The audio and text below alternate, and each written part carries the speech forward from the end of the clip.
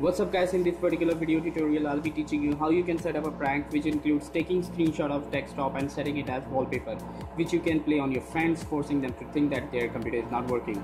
So without further ado let's jump right into it.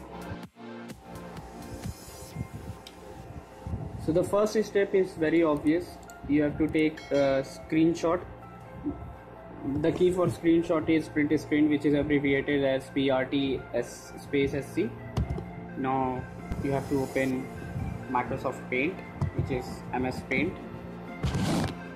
You can open directly through run now the paste now paste the image then by control V now save it as anything.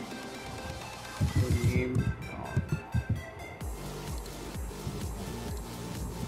back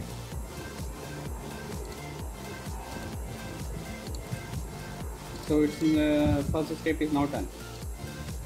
Now second step is to disable the show desktop icon.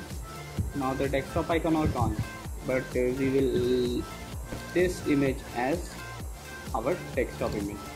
So it will create a illusion that these are icons but actually a part of wallpaper.